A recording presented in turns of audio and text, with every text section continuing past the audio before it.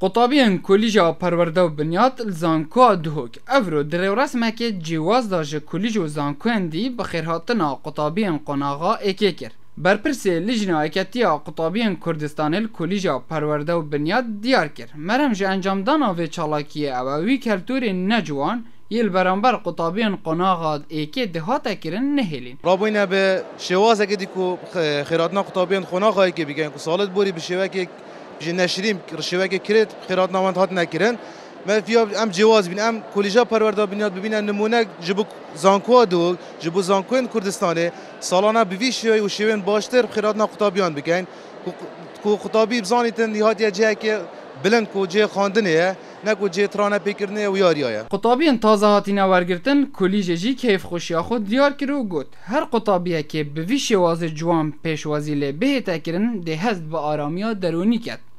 و باشتر هتا دناوا کش زانکوی دا دست بگی دست خوش به هر لایه که گلک جون اف مراسم بچو. ولی وکی ما گوتی بری هنگی گلک آخفنت کرد هات نگوتن راستا قطابیان قناخ ایکی دا.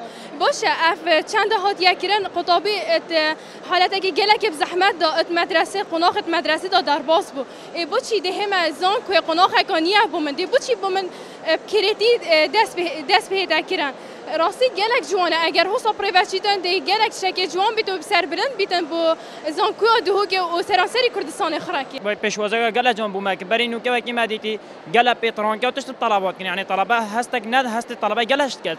بس میگه بالعکس هست ما گله که پیش کردم گله سپاسیا کلیجیت کن سپاسیا جماعت بنیات همیت کن. یعنی گله سپاس بو. یعنی پیشوازه که گرم المکرم جدر سپاسی هات کن وک دیار ده دما قطابی نول زانکوان دهاد نورگرتن قطابین قناغندی بناو نجوان بنافت کرن و توشی هلویست نخوش دکرن لی قطابین کلیجا پرورده و بنیاد ویار به شوازه که جوان داکو ببنه نمونه بو کلیجن دن پیشوازی لقطابین خوکر جه کلیجا پرورده و بنیاد تل زانکوا دهوگ بو دوگ تیوی کارزان محمود